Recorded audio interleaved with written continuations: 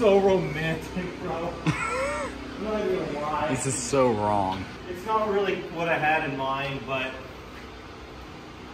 You gotta make do with what you got, you know? It's, it's.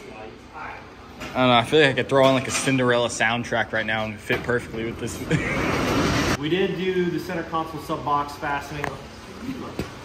What, what is so freaking fun? I don't know. you, don't, you don't know? You better figure it out. You start recording this because this isn't funny. don't worry, it was recording the whole time. and we're rolling.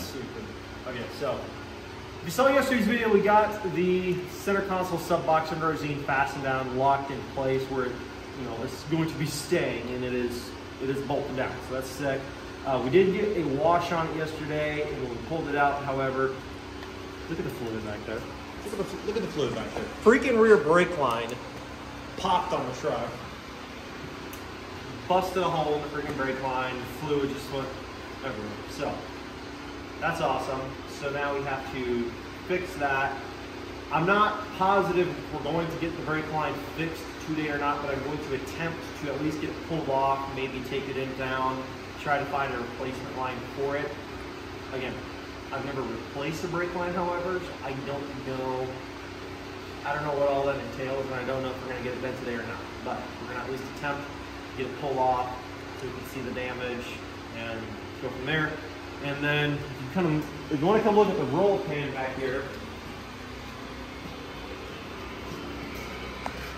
you see how this edge back here is like a flush fitment and it looks like it's supposed to. This side, however, is not. So what we're actually going to do is we're going to pop this into place and then do on the back side, there's a lip like this. If you show on this edge, this like metal lip that comes around the roll pan, there's an identical looking tab on the rear of the bed fender on the inside. We're actually gonna drill one hole on each side and do a little tiny self tapper uh, metal screw just to tie that roll pan to the lip on, on both sides on the back end there because it was never fastened in place. And the options are either you do a little tiny weld on the back side there underneath or you got to do like a little self tap or something like that. So we're to do that. That way this roll pan going down the road, it doesn't pop out like that because again, one of those small things is never buttoned up. So needs to get done. This is that little part I was telling you about in the previous video where I don't know why, like the brake lines are the like the rustiest thing on this truck and it's only in this like one location because like for the most part everything else is still nice. But anyways, you can see the brake line right there.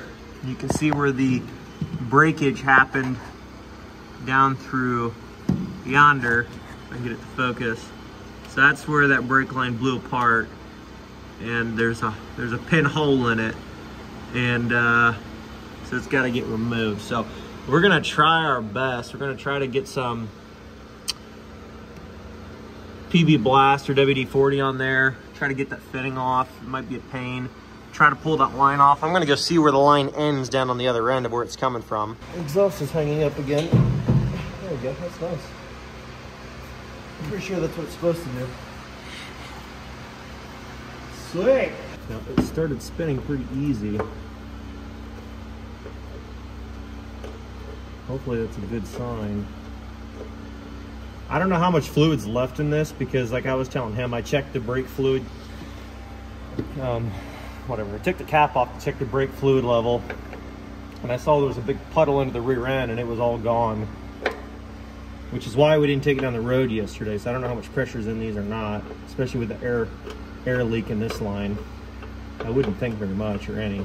So there's that one. I gotta pull this little metal tab off here and then we're gonna get to the other end and pull the other one off and hopefully we can find a way to finagle this line out so I can take the whole thing into the shop and get one matched up. And we're gonna try to get a copper line um, to replace it with just because I think they're a little bit easier to work with from what I can remember with my father-in-law's 1500 when he had a brake line blow on his second gen not four months ago maybe. Same thing happened to him. Can we just admire like the fact that we have a working ratchet Dude, set now? There was this guy that got the set for me. I can't remember his name. You know, it might have been your employee It might have been. who's behind the camera right now. You know. Oh, you know what? Finally, he did something useful around here. Got me a new set of tools. Thank you, Ty. You're Not welcome. only do you film great content for TikTok, Instagram, and YouTube Shorts, but you did buy me a useful tool because I couldn't find half of mine. Anyways, It was getting a little bit ridiculous to the point where I'm like, you know what? It's worth me putting a little bit of my money into it just so we can just so speed he up the doesn't process. ask me to go look for the freaking socket. he doesn't have. exactly. You're like, yeah, can you go find the socket? Yeah, here's a whole freaking new container. Beautiful. Easy peasy. So that's ready. So now we can just work our way down, pop it out of the, you know, little tabs that hold it in, and then pull the line off at the end. The Give me the good news. Good news is the threads are rotating out, which is good. Bad news is the fitting is so rusted around it that it's wanting to rotate the entire brake line, um, which is which is fine because technically we could just cut the brake line right here since we're, we don't need it anyway, and then just twist the fitting out so we don't damage the threads, which is actually probably what I'm going to do.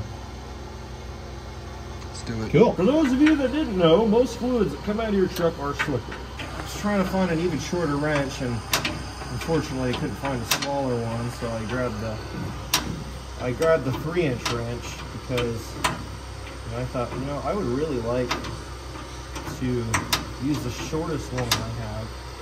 Okay, there we be. Look at that. Yeah, we did get it. Sweet. Look at that. Came out the way it's supposed to. Cool. Maybe a flathead screwdriver. All right. And then I'll bit And we almost took out the eye. Yep, What's that's left what's of left of it. flathead. You know, that's what happens when you use flathead screwdrivers as a crowbar. Dude, use what you got. Well, try not to really get your face in it.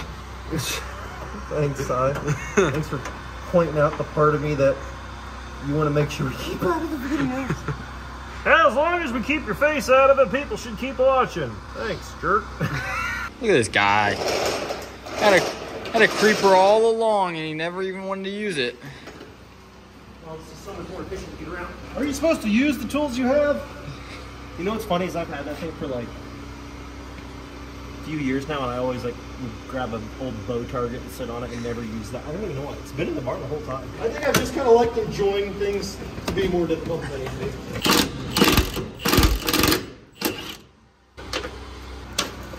Take that out and just hang it back up here for now hang that there. You want to remember to put these little tabs and hangers back up for these fuel lines and brake line because otherwise it'll freaking rattle all over the place and rub a hole in your brake line all over again or your fuel line or whatever. Now as far as we know, the brake line should be completely loose and ready to pull on out of here. We'll find out. All right, you just tell me when to pull. Give it a little pull. Okay, give it a little pull. All right. Stop.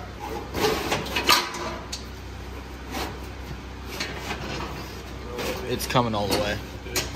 Yep.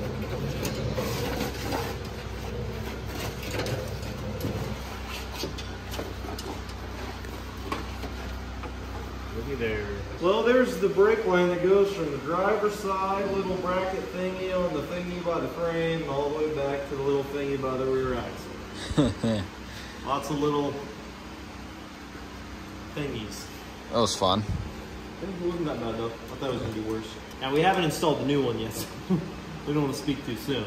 Hopefully, though, a brand new piece of copper brake line won't be so bad. But we will find out soon enough.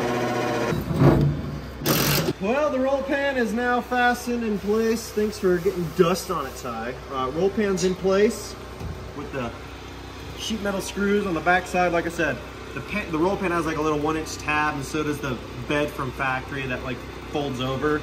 And so all I did was I drilled a little hole in between the two to connect them, and put a little metal sheet metal screw. Same on both sides. So it's now flush on both ends, and uh, now it's not gonna pop back out. And we gotta run into town and grab a brake line for this truck. We're gonna be running into town, hopefully finding that brake line, grabbing some lunch, going to the Fin Feather Fur. You know, if you know if you're local-ish, you guys will know what I'm talking about. But uh, the Fin's kind of like you know, it's it's It's kind of like it's actually like the only thing to do here. Really is. Now that I think about it, that's probably why people like it so much. Uh, not much variety, but uh, anyways, on to the next thing. Here's what we got. We got some new lines We got the stuff that's, uh, they said this was their better stuff. Copper nickel. Supposed to be a lot easier to bend around if you need to. Uh, we got some DOT3. We got some little fittings the lines. And uh, we're gonna kind of, we're gonna make our own thing here. So as far as I understand, he said you kind of fish this to where you need it. Um, you know, once you got it where you need it, slide your nuts on, make the flange, cut it, do the same thing on the other side. Slide the nut on first, make the flange then. And I actually got the tool to actually do that here. And it's supposed to be a pretty, supposed to be a, be a pretty simple process. So, should we get this done? What's going on guys? Welcome back to another video here of trying to get stuff done. So, we got Rosine here. And uh, now that we got the unexpected fix part of the project out of the way, let me show you how we let me show you how we did here. So I kind of showed you a little clip there when I was zipping in the little brackets that kind of space out the fuel lines and brake lines so they don't touch each other. Um, I got those all clipped back in, fastened in place. The line came out crispy clean, front to back, where it's supposed to be routed up. And then I'll show you the last little bit here. And let me know down in the comments, is a generator like, is that really obnoxious or do you guys not really pay attention to that much? This is gonna be the first video with that in it, so I don't know. We'll, we'll come up with a remedy if it's a problem. So here's where the brake line comes out, up over the frame. If you look down in here, it's not touching the frame. It's free floating just over top. I got the bracket back in. Again, just just hardly off the frame, so it's not touching. And uh, then goes back in there. Again, we went the copper line, and we, we should be good. We should be we should be solid, and hopefully that is the end of it. We did actually leave the cap off of the fluid reservoir that we took the cap off, we pumped the brakes a bunch, and a lot of that fluid got absorbed back down into the brake lines. I've never done brake lines, like I've never bled brake lines, like cracking them off, you know, down by the actual brakes and like bleeding into EC fluid and tightening back on. I've never done that before. Um, so maybe that's bad, but I haven't had to do it very many times ever either. So I've always just kind of like left the cap off the reservoir, pumped it until you stop seeing any kind of air bubbles come up out, and then top the fluid off to where it's supposed to be, cap on. That's what I did here too. I don't know if that's wrong, let me know down in the comments. I'm sure there's different ways to do it, but that's what we did, and brakes feel firm, and uh, we haven't taken it down the road yet. It's disgustingly muddy. The whole yard is underwater. Literally, it's underwater. You guys saw the intro. It's bad. Uh, so we're not taking it out today, but we did get the rear brake line. We did get the brake. What am I saying? We did get the brake line replaced from front to back. So it's one solid line, copper. It's pretty, it's pretty legit. The guy at AutoZone's kind of an idiot though. So you get, you're just kind of a moron. I mean, these some of these people, I just don't understand it. Like I'm like, dude.